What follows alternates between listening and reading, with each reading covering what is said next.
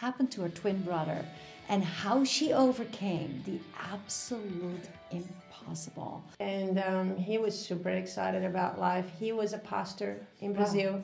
Uh, he was a lover of Jesus.